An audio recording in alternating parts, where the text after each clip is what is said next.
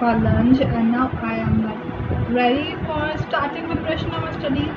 I'm not going to do much today, like not going to like, like all history, geography, civics, economics at the one slot. I will divide it like I will start doing with geography and history because that's like history sometimes I get messed up because of some like dates and everything and for geography is that map work is very needed so I will focus on geography and history for now. Like today and of course I think probably tomorrow and then I will start with the the other two subjects it is political science and economics. Now uh, before I start with my whole study preparation thing I am going to give you like some three important tips to do while studying for SST which I'm going to tell you during the way video I will study. So you guys can get help from that.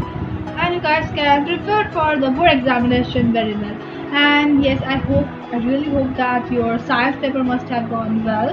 Because of mine it gone like good. Anyways I can't just give it 10 out of 10 stars for the whole rating but it like I can give it 7 or 8 yeah you guys was think but yeah 7 or 8 it uh, can take so that's for now.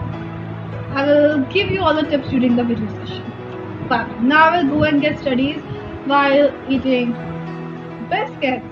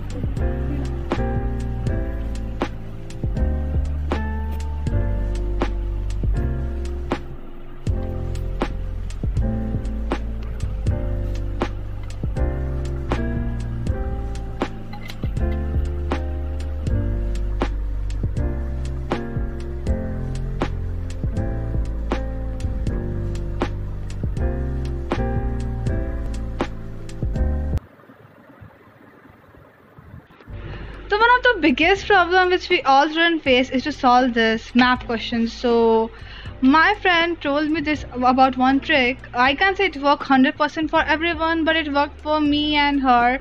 So I'm going to give that tip and that trick, and if it worked for you, it's great. So let's start. So let's see. Let's talk about one map of geography. So for geography, this is about the steel plants. So you don't have to remember all the steel plants, but the most important one like Bhilai, Bokaro, Jamshedpur. Uh, these are the mostly asked in the paper, so you can just remember the most asked uh, questions, or we can suggest the places name. Or so like in the lifelines of national economy part we have about this seaports so you can just remember the name of the seaports and where they are so you can properly look at them on this like you can remember the new mangalore port or we can say the haldia port you can remember some important names which are given already in your textbook that it will be easy for you to mark those. And now let's come to this history part. For history part we have like some sessions like some lahore session kolkata session nagpur sessions. So you can do one thing is to remember all the session where the sessions has been made so you can probably mark them on the map like it was nagpur session so you can mark them like on on the maharashtra because we don't know properly where Mahara- uh, where nagpur is there in that map so you can mark them so it can really get you marks so this worked for me and my friends so I really hope this advice can work for you too. So yeah.